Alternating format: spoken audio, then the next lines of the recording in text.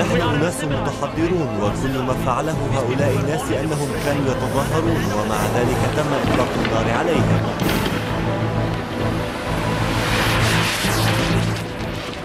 أغلبية أغلبية الأسلحة المستخدمة لنا هي هي من شركة نان ليثر تكنولوجيز